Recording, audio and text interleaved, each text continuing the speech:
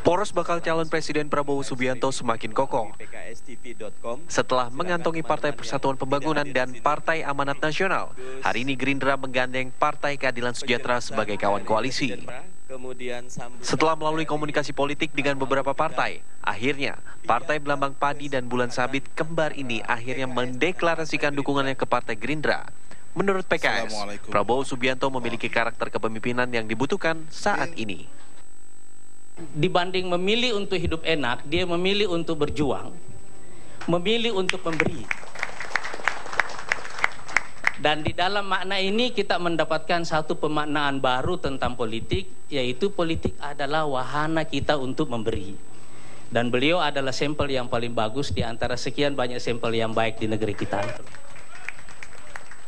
Sementara itu, dukungan PKS disambut positif oleh Gerindra.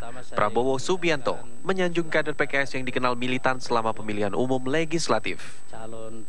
Saya kalau kampanye bersama Pak Anies Mata, saya agak minder.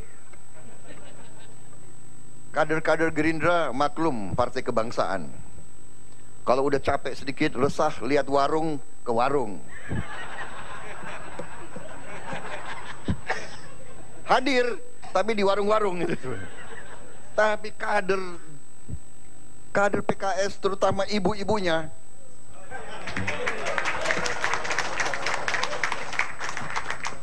ibu-ibunya tidak bergeming, tidak berpindah. Dan saya selalu pidato selalu minta sebelum Pak Anies mata. Baik PKS maupun Gerindra mengklaim bahwa koalisi dibangun atas kebangsaan dan bukan transaksional.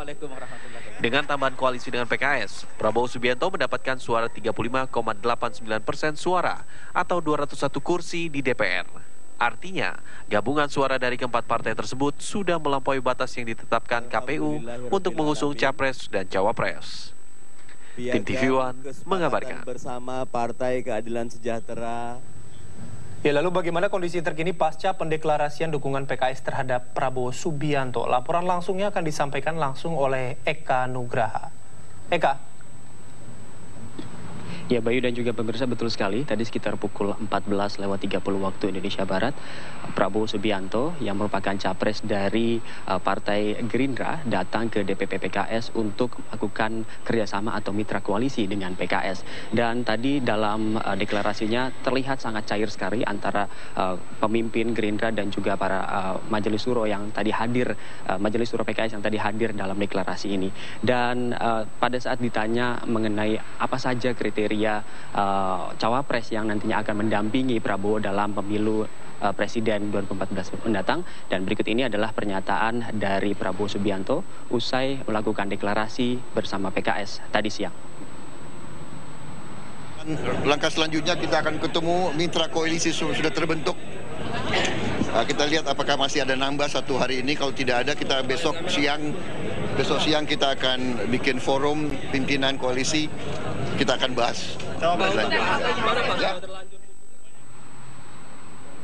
Ya pemirsa, selain uh, pernyataan yang sudah disepakati antara dua partai ini, tentunya uh, Partai Keadilan Sejahtera juga uh, memiliki daftar nama yang akan diajukan uh, oleh partainya ke uh, untuk mendampingi uh, Prabowo Subianto dalam pemilu legislatif mendatang. Namun uh, selain PKS ada dua partai lain yang sudah uh, tergabung dalam mitra koalisi ini, di antara adalah PAN dan juga P3. Lalu bagaimana persiapan PKS uh, menjelang musyawarah